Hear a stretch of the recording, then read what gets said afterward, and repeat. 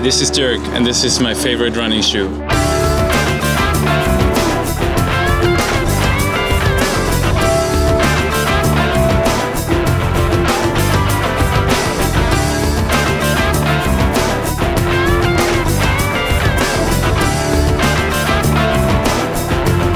So now I have the perfect combination. I have the speed and I have, I have the long distance component, the cushioning in that shoe. You have the seam-free upper, uh, which means zero hot spots in the shoe. There's zero break-in time. That's why I love it very much. Perfect combo for me.